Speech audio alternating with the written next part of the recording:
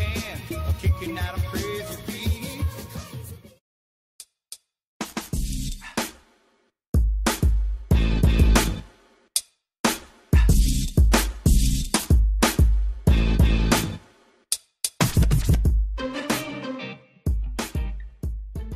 that I've actually been reading or catching up and trying to finish or polish, well, I won't say finish, we'll say polish off reading some of the black, female black cozy, not cozy, female black mystery author series. This is a lot for me that I've been reading for the past uh, eight to nine years on and off. And the first one that I actually finished this week was the rest of Barbara Neely's Blanche White series. You know, Blanche White is a domestic black, mm, I don't like these middle age, I don't want to you know, I don't want to go around all that stuff with age and, and women, you know, I don't know. Yeah. Okay, but anyway, she's a black domestic housekeeper. Um, per book, she is involved with a different family. But um, I kind of savored my way through reading that series. I haven't started it a couple years, a couple maybe five or six years ago, and I just now recently read the sec, the third, and the fourth, which is the final book of that series. So Blanche is off of my list. I've caught myself up with that series and it is done. Okay, not completely because those books are just incredible as is. I now I'm happy that I have them in my personal library to read whenever I want. But I will go ahead and just say. If you haven't read Blanche's series, girl, do yourself a favor and read them. I can tell you right now, the third book, which is Blanche Cleans Up, was my favorite. That book was off the chain. That was a good read.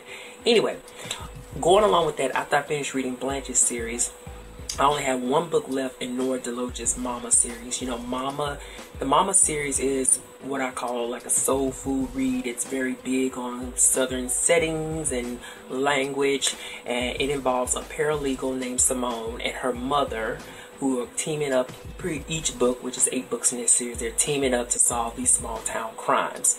Um, the one that I just finished actually last night, which was Friday night, was Mama cracks a mask of innocence, which I ended up giving four stars because I think that was probably her best book. You know, she's an eight book series. Her best work came out of that last book.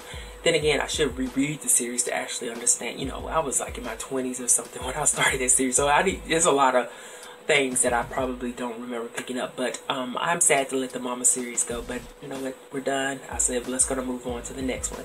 So keeping along with this, keeping along with this subject matter, I'm going to share with you guys the books that I'm going to be focusing on in the second, the series and authors I'm going to be focusing on in the second week of August. As of today, I'm going to be starting Chassie West, um, Killing Kin.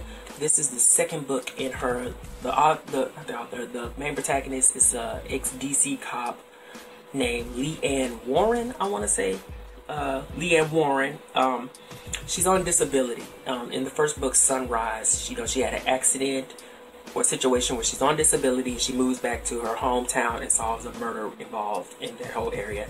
And I want to say, because this series consists of four books, that each book is going to be in that same area. I'm not 100% sure because it's, it's been over three years since I read that first book. But I'm going to be really reading Killing Kin, and I want to go ahead and point out the fact that um, I got my coffee. Yes, I, I drank it through a straw and I put a little uh, paper towel over it for, for right now, okay? Just for right now. But I'm going to be drinking my coffee and starting this book as soon as I finish here. And then after I feel finish reading Killing Kin, I got Killer Riches, which is the third book in the Chassie West series. And unfortunately, I don't have a fourth book, but there's a truck right now as we speak traveling from Atlanta to Birmingham that has that book on it. Okay, so I'm, I'm, girl, I'm ready. Okay, I'm ready.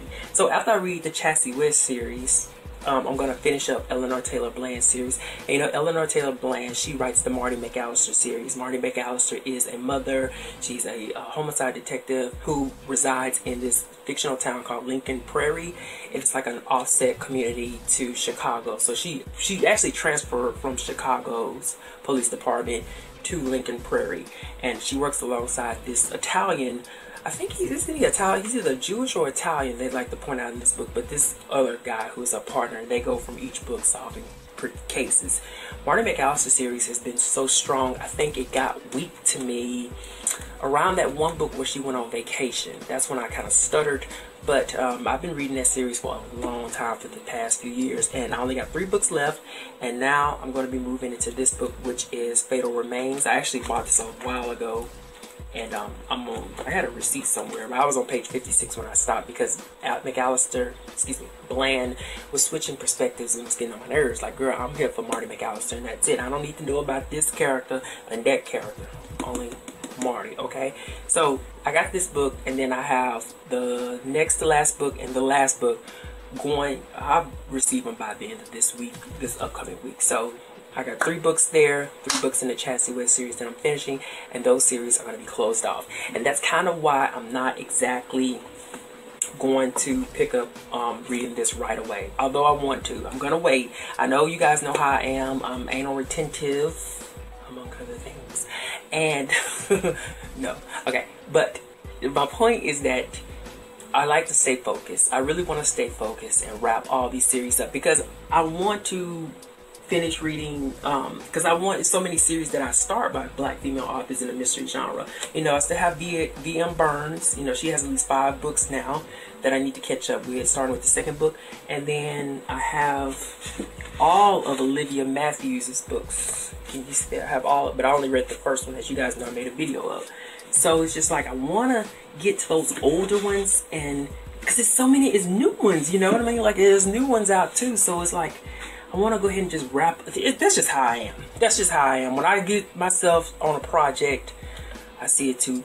I was gonna say fruition, but I see it to the end. So that is all. Oh, one more thing. A lot of people have asked me over time. A lot of people have asked me, have I read Rachel Howzell Hall? And this is the first book in her detective series, Elouise detective series, which is Land of Shadows. No, I haven't read it. I checked these both out today, girl. I was like, I'm gonna do me something with this book. No, I'm gonna go ahead and buy my own copy because I got it for like $11.99 and my Amazon card in hardback, and we're gonna jump off from there. So I basically went to the library. For, nope, I went to it for a good reason because I discovered this while I was there.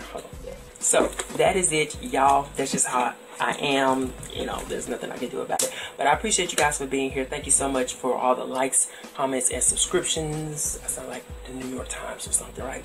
But I appreciate it anyway. Thank y'all so much. And hopefully I'll get back into the groove real soon of being back with you guys and communicating on all your videos and stuff. Gotta go. See y'all later.